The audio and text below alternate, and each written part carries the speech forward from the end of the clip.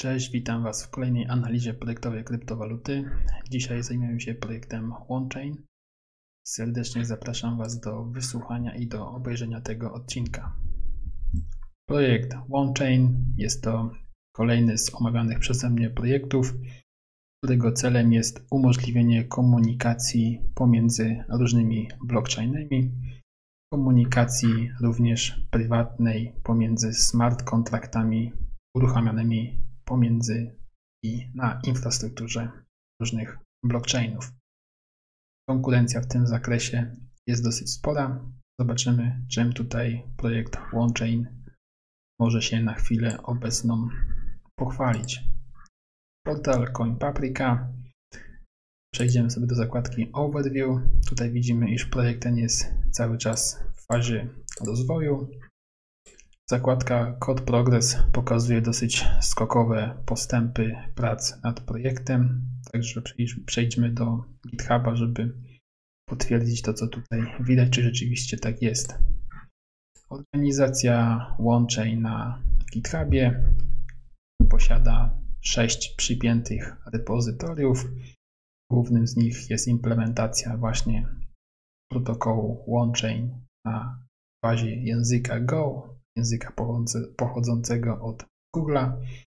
Z ciekawych rzeczy można dodać to, iż OneChain powstał pierwotnie na bazie kodu Ethereum, także jest swego rodzaju forkiem Ethereum, ale nie wspiera standardu ERC20 dla tokenów uruchamianych właśnie na Ethereum. Jeśli chodzi o główny kod repozytorium tego projektu, to tutaj za dużo ciekawych rzeczy się nie dzieje. Komity dosyć mało znaczące były dodawane w przeciągu paru ostatnich miesięcy. Żadna większa logika za tym się tak naprawdę nie kryje. Jeśli chodzi o issues na tym projekcie, to tutaj organizatorzy nie prowadzą tego typu działalności w zakresie tego projektu. Pull requesty również nie są stosowane w tym projekcie, także dosyć dziwne, dziwne podejście do prowadzenia projektu. Wszystko jest opierane na bazie jedynie komitów, które bezpośrednio trafiają do gałęzi kodu. Nie są one powiązane w żaden sposób z issue, które nie są prowadzone, nie są też zakładane pull requesty. Także taka bardzo stara szkoła prowadzenia tego projektu, można powiedzieć.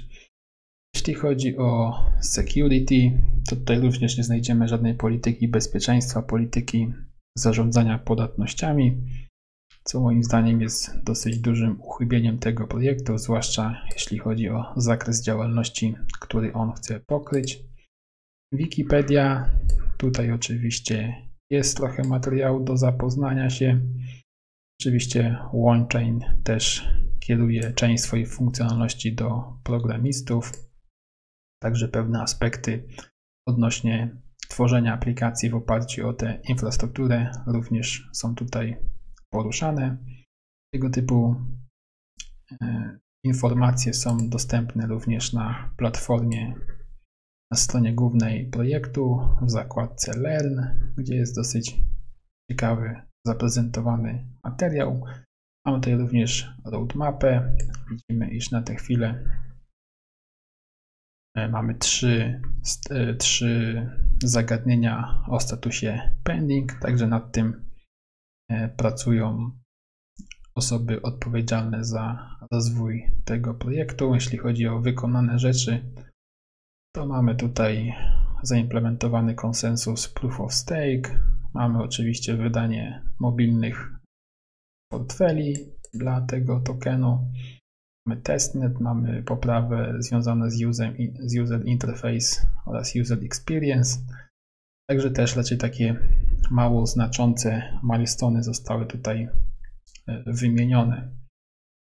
Jeśli chodzi o zakładkę Insights, to tutaj również nie zobaczymy nic ciekawego, co wynika po prostu z małej aktywności deweloperów w tym projekcie w ostatnim czasie. Nie ma informacji o issue, nie są prowadzone, o komitach. Komitów jest niewiele, pull requestów również nie ma. Także działalność tutaj zespołu jest dosyć mała, jeśli chodzi o te depozytorium. Z depozytoriów, które jeszcze należy brać pod uwagę analizując ten projekt, jest, projekt, jest to z pewnością OneChain JavaScript Software Development Kit, czyli SDK dla programistów napisane w języku JavaScript, które umożliwia łączenie się właśnie z infrastrukturą projektu w celu wykonywania konkretnych operacji na zakresie cross-chain, czyli pomiędzy różnymi blockchainami. Oczywiście tutaj zwracamy uwagę na used by. Jest to projekt w JavaScriptie, SDK, czyli mamy możliwość spojrzenia, co z tego korzysta. Widzimy, że na tę chwilę korzystają z tego jedynie dwa projekty i są to projekty właśnie z bazy projektowej tej organizacji. Także na tę chwilę nikt ze społeczności nie utworzył nic w oparciu o to SDK i nie opublikował tego na GitHubie. Wersje release również tutaj są umieszczane.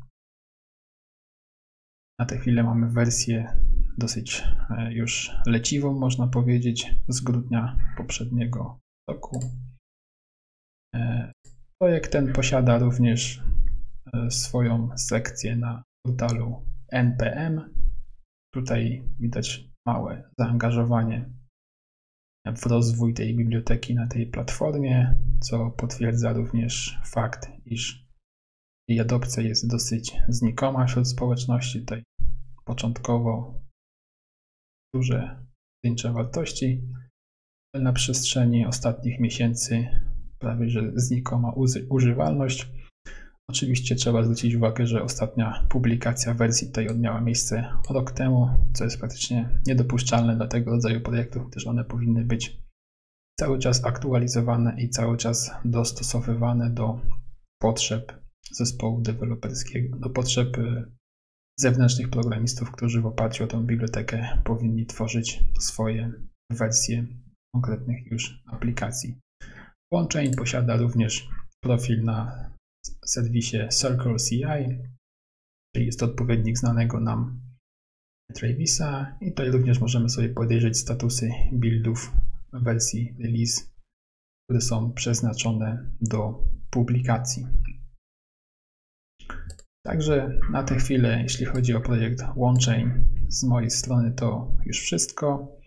Jeśli chodzi o plusy, jakie widzę w tym, w tym projekcie w porównaniu do konkurencji, jest to na pewno tymczasowe adresy, które można wykorzystać do dokonywania właśnie transferów środków na tym blockchainie oraz e, prywatne smart kontrakty pomiędzy blockchainami.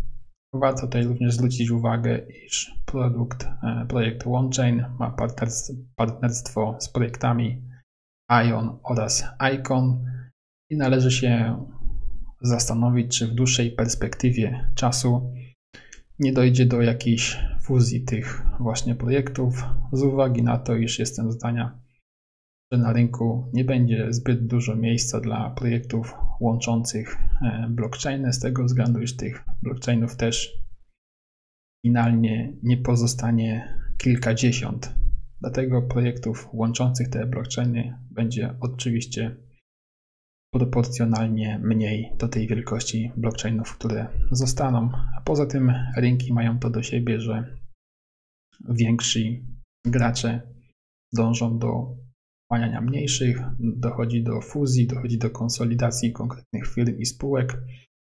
I warto wziąć pod uwagę, czy w przypadku właśnie projektów OneChain, ION oraz ICON nie dojdzie do takiej operacji w przyszłości. Także dziękuję Wam za wysłuchanie tego odcinka i poświęcony czas. Zapraszam do zadawania pytań w komentarzach pod tym filmem. Dziękuję, cześć.